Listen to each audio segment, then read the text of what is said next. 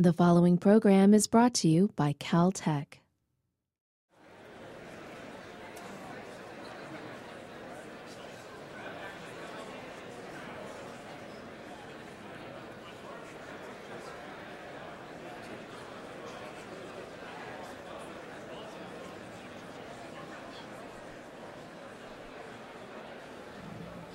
Sure. So I can uh, just start us off by introducing maybe the uh, people who have helped put this together, the team uh, leads for this workshop. Uh, so uh, we'll have uh, Jason Rhodes, who I saw outside.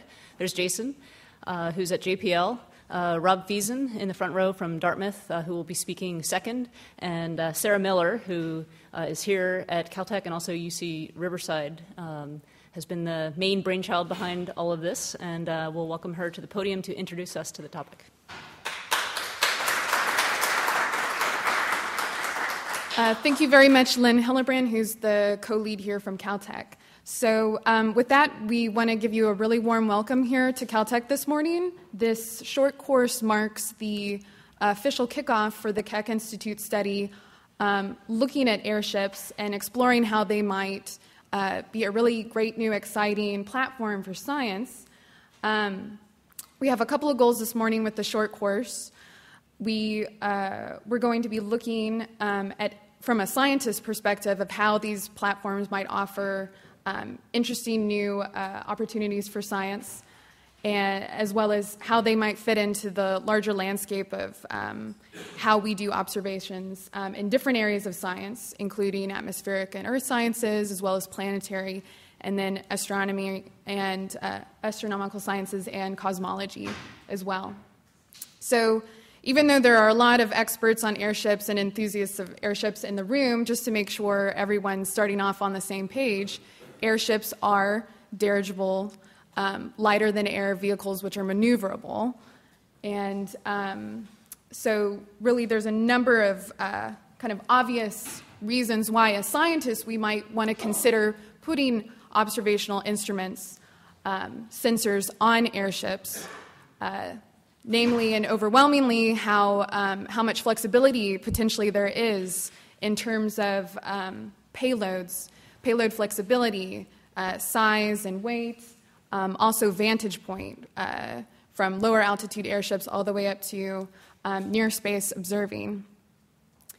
And um, uh, there has been really a renaissance, uh, a resurgence in airship design and development and with the help of the Keck Institute um, and with the very generous, um, uh, uh, uh, basically the, gener- the generous um, involvement of the major players in the development and design and engineering of these new airship uh, vehicles, um, as well as uh, technology uh, technology experts um, who will really help in trying to integrate scientific instruments onto these airship platforms.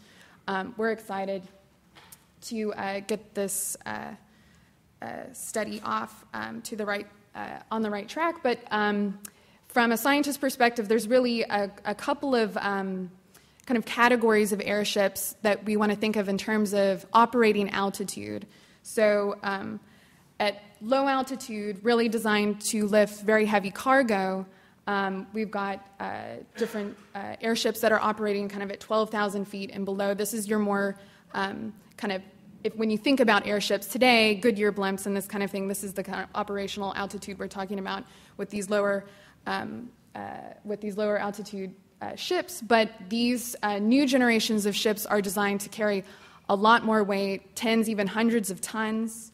Um, and then a little bit higher, we have a at more intermediate altitude, kind of more of the operation of the higher ceiling of the classic airships, even all the way up to uh, commercial airliner jets. We've got um, a new class of uh, airships, including um, an interesting airship design, which is a hybrid, which is a combination of aerodynamic lift as well as buoyancy to keep the airships um, in operation. And um, this is a very interesting class, days to weeks of, at a time um, in uh, flight, um, as well as uh, very, uh, um, uh, as well as very uh, kind of um, long, long duration uh, flights as well in development.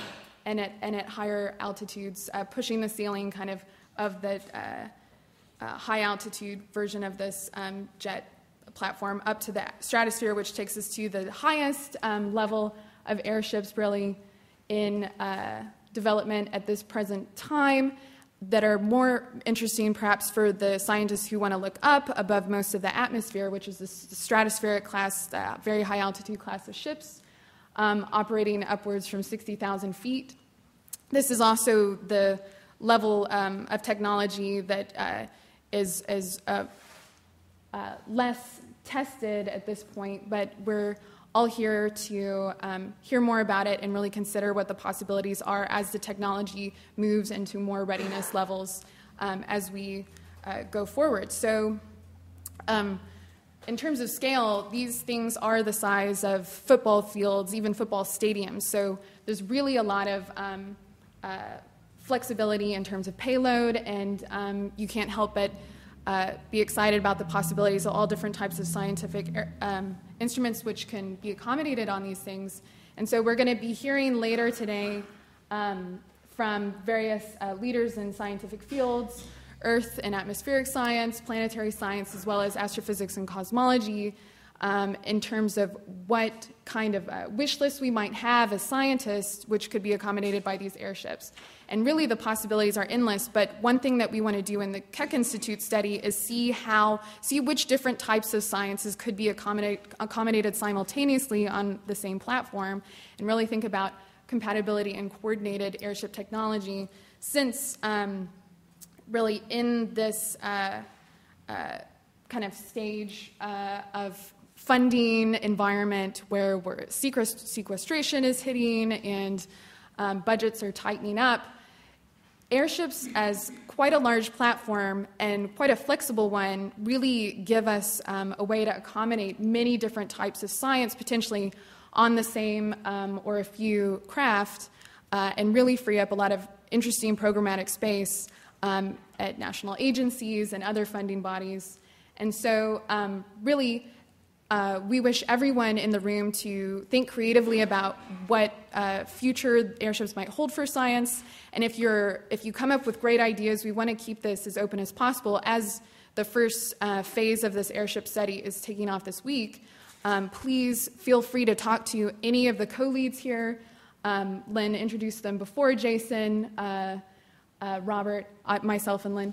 And really, any of the participants of the study that you see uh, listed here, please feel free to have conversations. There will be a lot of, um, there will be a great, a great possibility kind of in the long term uh, follow on, uh, potentially follow on stages of the study to get involved if you are interested.